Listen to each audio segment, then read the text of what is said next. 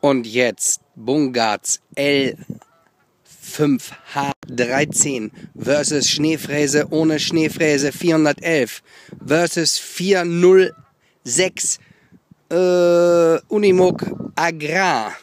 Shabadabadu. Achtung!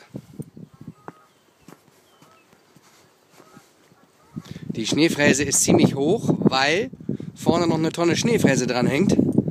Normalerweise.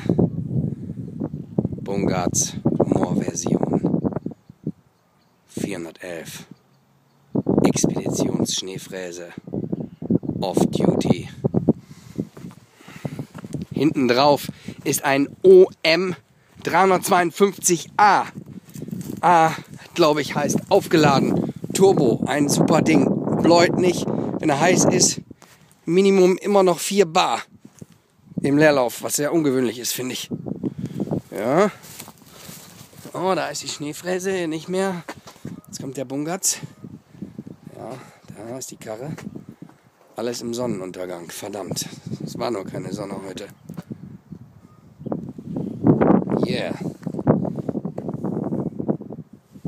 Morgen geht's ins Truppenübungsgelände. Atakinski. Jo.